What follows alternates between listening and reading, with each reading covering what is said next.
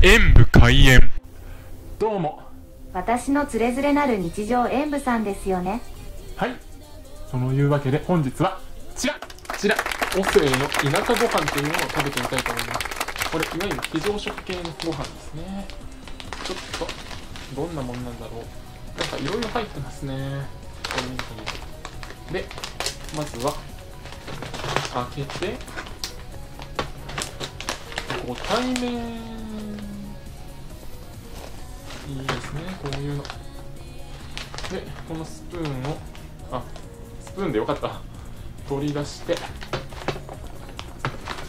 ここにお湯または水を注ぐということなんですが今回は非常時に舐めることも想定してお水でやってみますね。あ線見えました。というわけで注ぎます。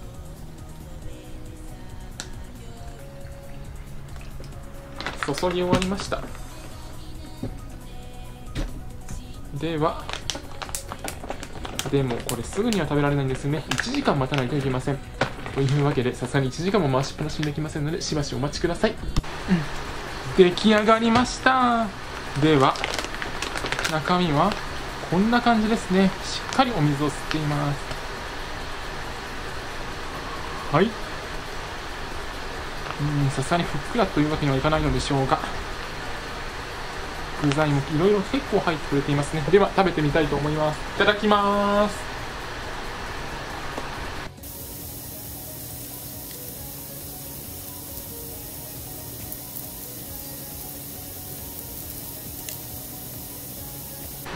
お米に結構噛み応えがあってしっかり噛むことができましたね。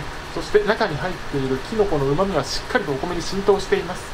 でプーンは小さいのですが小さいので一度に一気にすくえなくて必然的に噛むことが多くなるのでそれで満足感を満たして非常食として腹を持たせるということを狙っているのかもしれませんね。うんだから面白いですね。お醤油もしっかり染み込んでいてとっても美味しかったです。非常食といっても侮れませんね。というわけでこちらの点数とさせていただきます。今日はぐらつぐらついたな。今の点出して、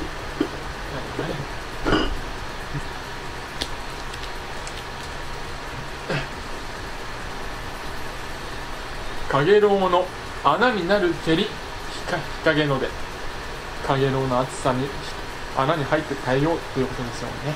ご視聴ありがとうございました。コメントしていただけるとそしてよろしければ動画を拡散していただけると嬉しいです。演武閉園。ソコンおよびスマートフォンのアプリの方はクリックをお願いします。